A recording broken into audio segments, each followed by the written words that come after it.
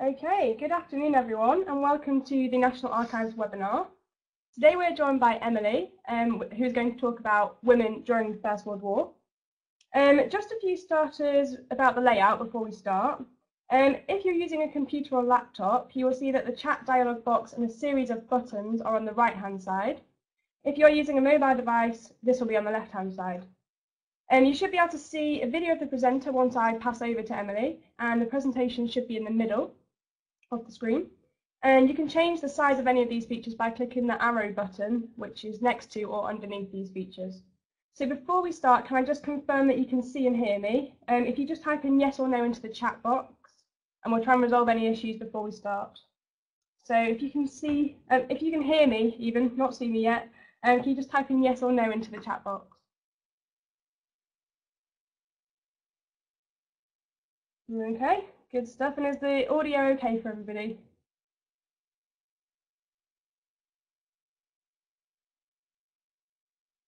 Please bear with us. This is a new venture for us. We do want to make sure it's working for everyone. Okay, um, if you do have any questions or comments throughout, um, if you can you can interact via the chat box with me and other participants. Um, so if you do have any questions throughout the presentation, um, type them in the chat box and I will post them to Emily at the end. Um, the talk will last about 30 to 35 minutes. And when I hand over, you should be able to see Emily on the screen. So without further ado, I'll pass you over. So enjoy the event, everyone. And if you are having any problems, do let me know through chat.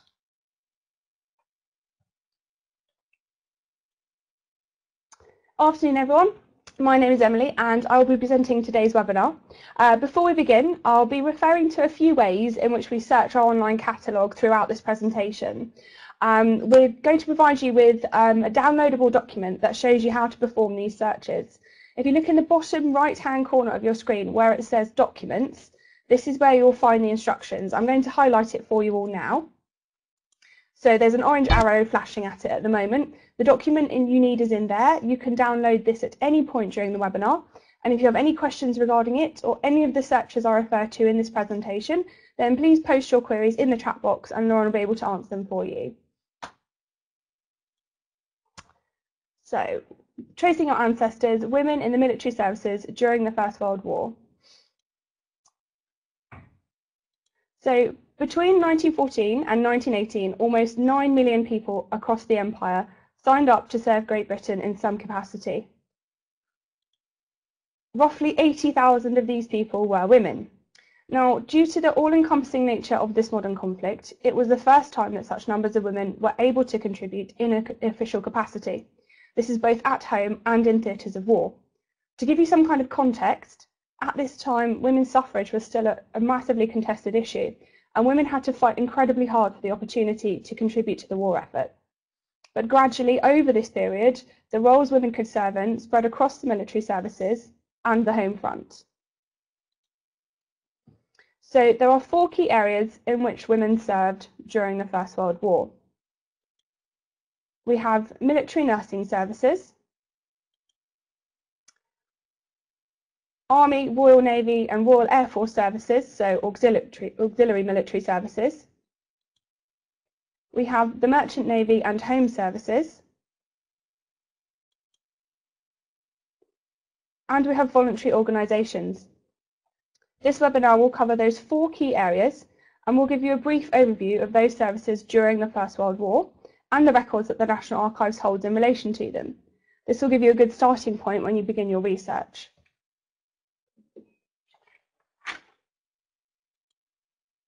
To begin with, we're going to look at military nursing. Nursing was one of the largest services undertaken by women during the First, during the First World War. The two key military nursing services were the Queen Alexandra's Imperial Military Nursing Service. This included Territorial Force Nursing Services, and they served the Army and included a reserve corps. So it's worth mentioning that they went under the ac acronym, acronym you can see highlighted on screen in bold. So that's Q-A-I-M-N-S, and that's pronounced Quains. We also have Queen Alexandra's Royal Naval Nursing Service. They served with the Royal Navy, and their commonly used acronym is QARNNS, and this is pronounced Quans. Both Queen Alexandra services predate the First World War, and they didn't have a large contingent, contingent of regular members. The Queen's in particular had strict appointment regulations. Women had to be over 25, they had to be single, and they had to have independent means. This is particularly significant as most women were married by the age of 25. However, these rules were relaxed during the war due to the need for nurses. There were over 10,000 women nursing the British military by the end of 1918. Their service records can be found in the record series WO399. You can see an example on screen now. These are name searchable in Discovery and can be viewed online for a small fee. Remember, if you need help doing any of these searches, please refer to the document we provided for you or ask Lauren any questions.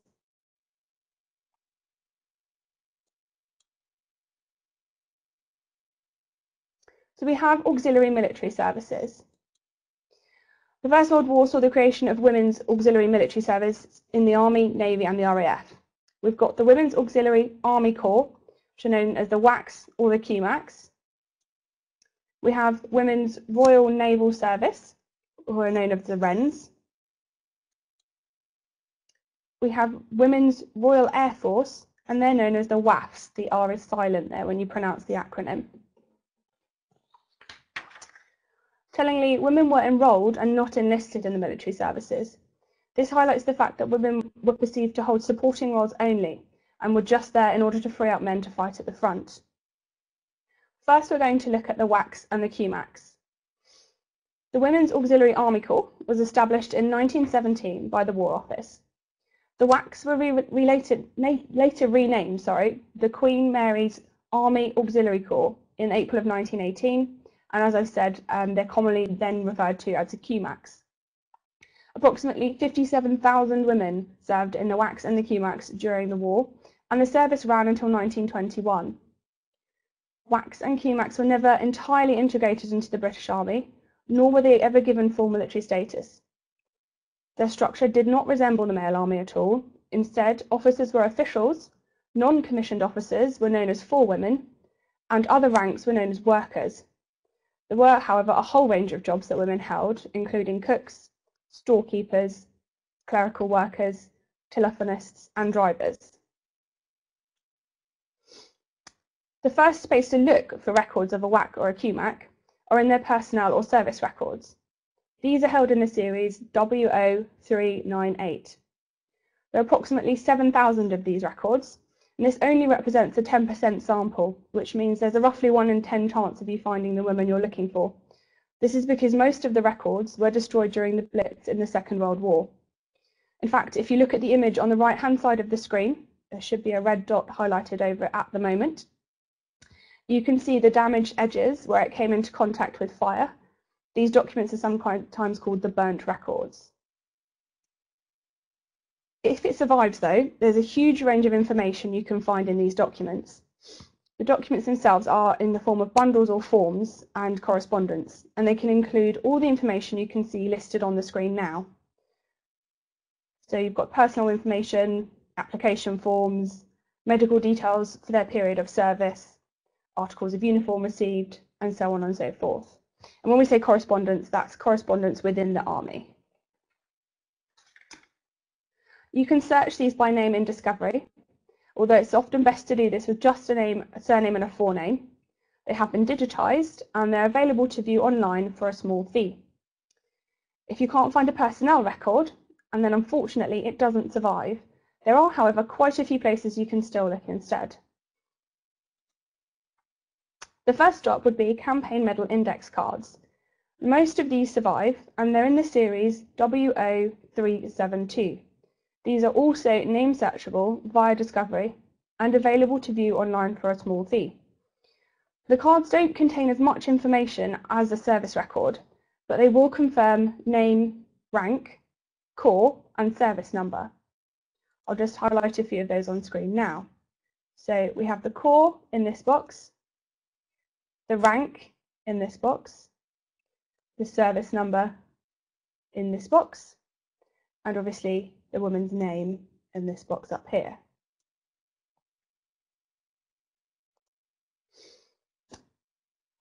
Some cards also tell you the theatre of war the women served in, the date of entry into that theatre of war, and the medals they were entitled to. So theatre of war, if it was included on this card, would be down here, and the date of entry would be just below it. Any medals the woman received will be in the box I'm highlighting at the moment. And you can see that this particular woman, she received the Victory Medal and the British War Medal. The remarks box just next to it includes some military coding for some correspondence, but it can also include other bits and pieces of information and recommendations for gallantry awards.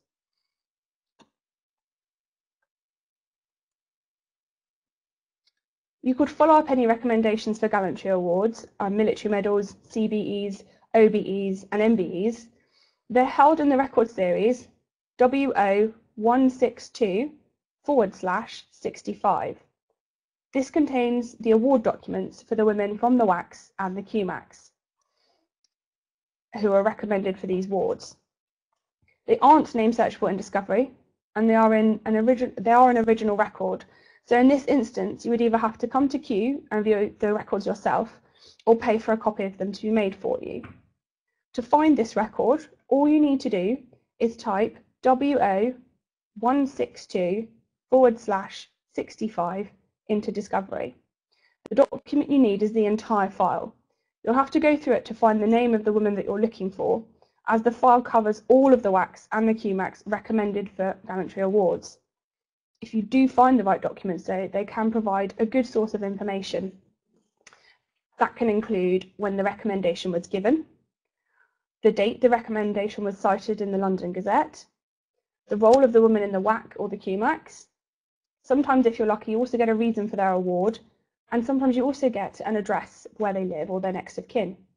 So I've just put an example on screen here. We've pulled out and magnified a section of the document that we had on underneath it. And you can see the particular woman in question here, she received an MBE, and you can see that she was a controller in the QMACs. It's quite faint, but it does say that there.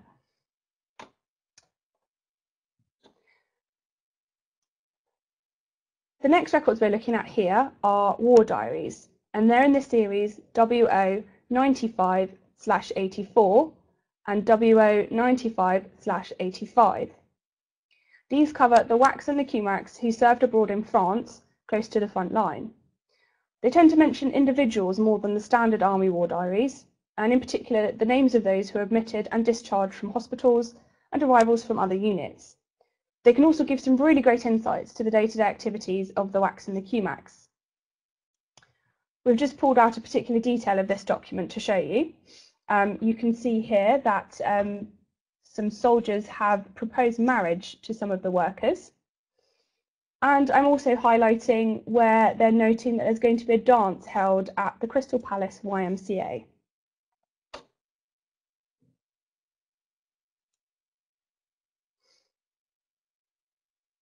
These war diaries will be available to view online very soon. They're currently being digitised. To search for them when they're available, all you need to do is search for WO95 forward slash 84 and WO95 forward slash 85 in the Discovery search bar. They're the only two diaries for the WACs and the QMACs. So the next service we're going to look at is Women's Royal Naval Service, or also known as the WRENS. They were formed in 1917 and very quickly received thousands of applications from female recruits. By the end of the war, there were approximately 5,500 members, 500 of whom were officers. All police positions below an officer are known as ratings, and they equate to other ranks in the army. Some women had the opportunity to serve in theatres of war, as well as shore bases on the home front. There are positions for ranks and other ratings. The ratings roles included jobs such as typists, cleaners, machinists, riggers, and messengers. Uh, there were even some aircraft women, although these were often transferred to the WAF when it was created in 1918. You will find service records for other ratings in the series ADM 336. These are name searchable on Discovery and they're available to view online for a small fee. Now, although this document here, which is an example of an ADM 336 service record, it looks pretty sparse, but it actually contains all of the following information. They can tell you the date when someone enlisted, I'm highlighting that for you now. They can tell you discharge details, so the date they were discharged and the reason. I'm highlighting that for you now.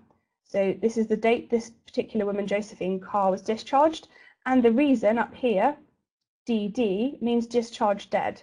So she was actually the first and only casualty for the Wrens. Her ship, the Leinster, was torpedoed in 1918, and you can hear it says, see, it says the ship SS Leinster. The date of birth or the age of the woman is also shown on the card. Um, the next of kin, and in this case, an address. Um, the ship, again, or the establishment is listed, the establishment being the name of the shore base. It's listed whether the woman was mobile or immobile. Mobile means that she was able to leave um, British soil and go and travel on the ships. Immobile means she needed to stay and work on her shore base. If she was transferred to the WAFs, this will also be noted on her service record for the Wrens. Sometimes there's also character references, and if there's a gratuity paid when they're demobilised.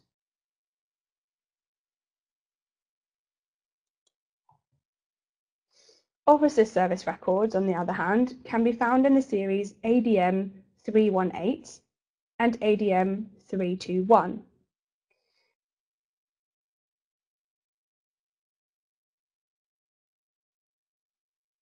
ADM 321 is a register of Wren officers and they're very brief lists. However, personnel files are in ADM 318. These are name searchable on Discovery and available to view online for a small fee. The records will tell you more about officers' roles, which were more senior than ratings, but they still didn't equate to male responsibility in the same position in the Navy. Wren officers' responsibilities included roles such as overseeing other women and senior positions. Here you can see just one page of a Wren service record. A report on her character and suitability is what it's referring to.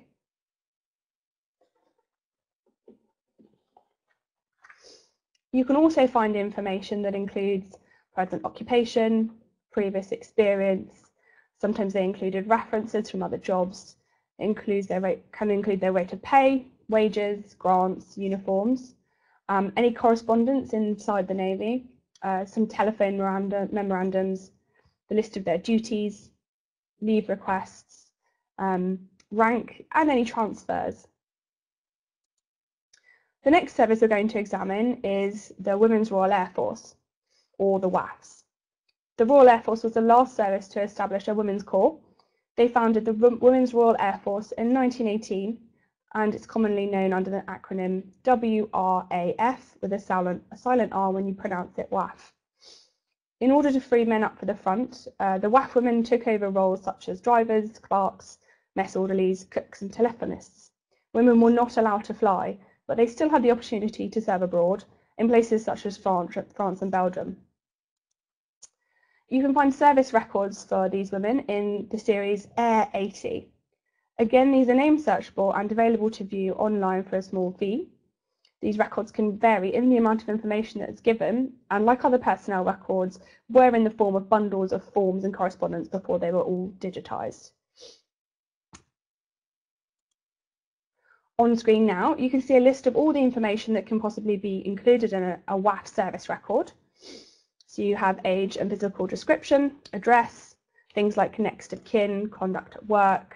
You even have their religion and any transfers in and out, possibly some casualty and medical information as well. Now we come to the Merchant Navy and the Home Services. First of all, we'll look at the Merchant Navy. Women are present in the Merchant Navy both prior to and during the First World War, but this is in a very diminished capacity compared to other services. There are no service records for men or women during the First World War. The tiny portion of records we do hold for this period are extremely difficult to find, and a lot of them were destroyed by the government after the war. Because of this, if you do want to know more, then please do ask us at the end of this presentation, and we'll be happy to go through it with you. But because the chance of actually finding anything is so slim, we don't want to run out of time. So we're going to continue straight on to the home services. So we have the Women's Land Army. Although normally associated with the Second World War, the Women's Land Army, or the WLA, was actually first created in January 1917 and it had three sections agricultural, timber cutting, and foraging. It was set up to help increase the amount of food grown in Britain whilst the men were away fighting. Unfortunately, there are no personnel records for the Women's Land Army in the First World War that survive at all. You can find very few examples of campaign medal index cards in the series WO372. I'm highlighting the example that we have for you on screen now, there should be a blue box surrounding it. As you can see, it's empty of any medals. This is because people are only entitled to campaign medals if they've served abroad in a theatre of war. The WLA only served on the home front and never left English soil. So the ones we have for the WLA are for those who mistakenly applied to campaign medals, and the cards themselves will be unable to do anything other than confirm their name and the fact that they served in the Women's Land Army. We do hold some really interesting records relating to policy and, and administration of the WLA in the First World War. These were for government use only and contain some example documents like the certificate and the armband you can see on screen here. They can be really useful for general context, but they won't provide any personal details for particular women. Now we come to volunteer services.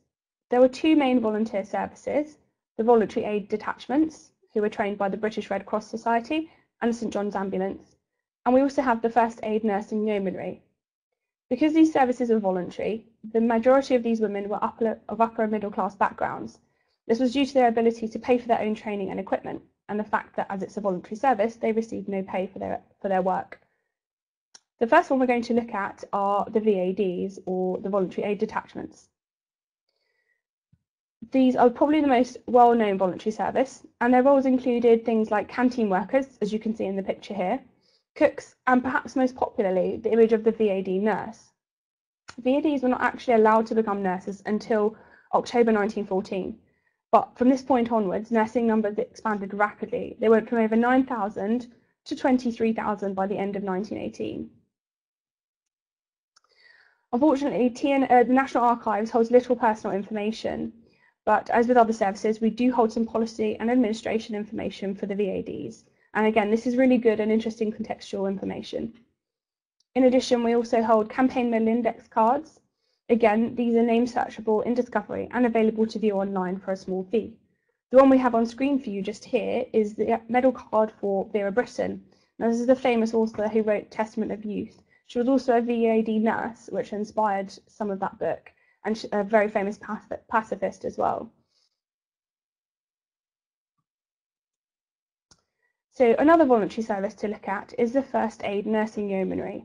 Now, these ladies have the fabulous acronym FANY and are wonder wonderfully referred to as the Fannies. The Fannies were founded in 1909 and they're called Yeomanry um, as most original pre-First World War volunteers in this corps were mounted and they were required to provide their own horse. Rather than simply nurses, Fannies saw themselves as combat medics. Their roles included ambulance drivers, canteen workers, frontline nursing, and first aid. And the Fannies' desire to be in the thick of it meant that they were not fully supported by the British Army. This meant that they mainly worked with foreign and allied forces, such as the Belgian and French armies. The Fannies are the world's longest established uniformed voluntary military organisation for women and today the only all-women military unit left in the UK. And you can see from the insignias on screen here that they are still running indeed. So as with the VADs, unfortunately the National Archives does not hold any personnel information other than a few campaign medal index cards. You may find if elsewhere, searching elsewhere for someone specific, they have foreign awards and honours from allied armies they worked with. There are a number of Fannies who received uh, the Croix de Guerre, for example. Those records are not kept with the National Archives though. So we're going to go over a few other record series that you can check out. Um, they can cover the range of services that we've discussed today. They aren't all encompassing and they are mainly useful as contextual resources. You're unlikely to be able to trace a specific person, but they're always worth looking in while you're conducting your research. The first one we're going to look at is the record series MH106. These are a small selection of sample medical records and a fabulous source of general information. you have a slim chance of finding someone specific because they are so few and they are just samples, but they're still worth checking as they cover female nurses and women in the military services. There are original documents, and we have an example on screen with a drawing that a doctor very kindly made. Um, and you can they can be seen on site at Kew, or you can pay for a copy to be made for you. To find them, all you need to do is type women and refine your search series to MH106 in an advanced discovery search. Again, the document that we provided for you will tell you exactly how to do this or post any questions you might have to Lauren. These documents list names when they entered and discharged from hospital, how long their treatment was. It includes information like their religion and how long the women served for. They're really useful and show, showcase what kind of illnesses and diseases that were affecting the women of the army. Quite often you can see things like measles and gastritis, um, varicose veins, um, even some STDs, and in some cases shell shock, although I don't think it was referred to that um, during this period. Now we're going to look at Red Cross registers. The Royal Red Cross is a military decoration and was introduced to military nursing by royal warrant by Queen Victoria on St George's Day in 1883. It's awarded to military nurses for exceptional services, devotion to duty, and professional competence, and it's still being awarded today. The records that we have here contain information about nurses across the different services, sometimes including notes as to the reason for the award.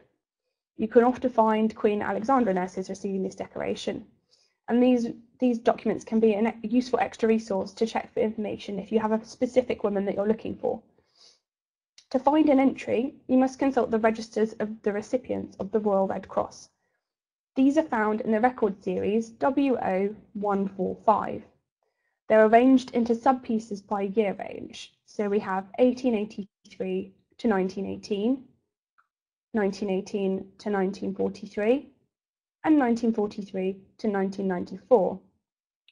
Now, if the First World War nurse in question received one, uh, a Royal Red Cross in 1918, you may need to consult both registers to rule out which one she was placed in. So the record is organised by an index at the front. I'm just going to highlight what that page looks for you now. The recipients of the award are broadly alphabetically listed by surname. To find a registration, first find the name in this index. Next to it will be an entry page number and an entry number. You have to follow this to the entry page in the register. And I'll just highlight what an entry page actually looks like. So this one here you can see I think is page 206.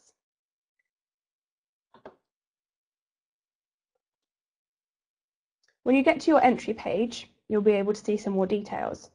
We can see from this entry, we have Miss Ethel Smidies. She was found on page 208 and her number, as you can see, is 11912. This is the entry award number, not her service number. You can see that she served with the Queen Alexandra's Imperial Military Nursing Service. So she was a Queen. Recipients would either be awarded a first or second class Royal Red Cross. This will be noted on the record and you can see here that Ethel was awarded the first class. Some of these entries are teamed with notations on particular deeds or cutouts of citations from the London Gazette, so this source can be a really interesting and revealing one.